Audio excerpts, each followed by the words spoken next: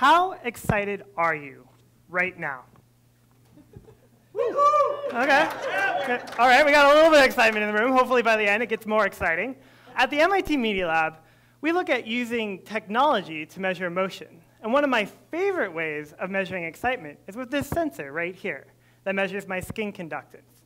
And you can see on this graph over here, that's some skin conductance over there. Now what's interesting about this is that as a person gets excited or frustrated or anxious, the technical term here is physiologically aroused, we'll see an increase in skin conductance. And I want to show you how that information can be really interesting and tell really awesome stories.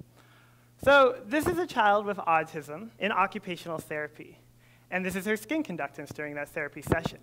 We can see at the beginning of therapy, she gets a little bit overwhelmed. She gets pretty excited. And the therapist has her go into a ball pit. And she sits there in the ball pit, and we can see that her arousal decreases really well.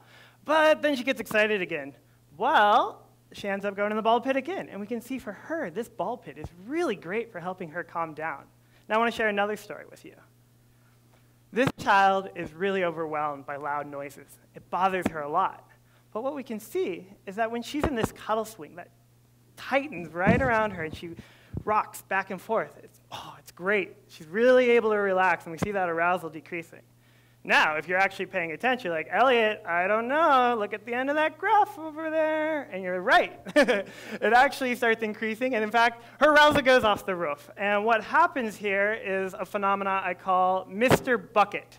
Now, Mr. Bucket makes really loud noises and is a robot. And we can see in this child's behavior when this happens, she loses her ability to talk. And actually, she runs and hides under the table and covers herself with a chair because it's so scary for her. I believe tools like this can help occupational therapists build a better emotional experience for the children they help. And so the bigger question I have here is, what other emotional experiences can we make better in the world? A little small tidbit I want to show you of something else. This is the skin conductance of someone watching the Blue Man Group. And what we can see here, their arousal when listening to Crazy Train and Freebird, great, they are super excited. But then when we listen to Furley's, not so much. I believe information like this can help designers create better products.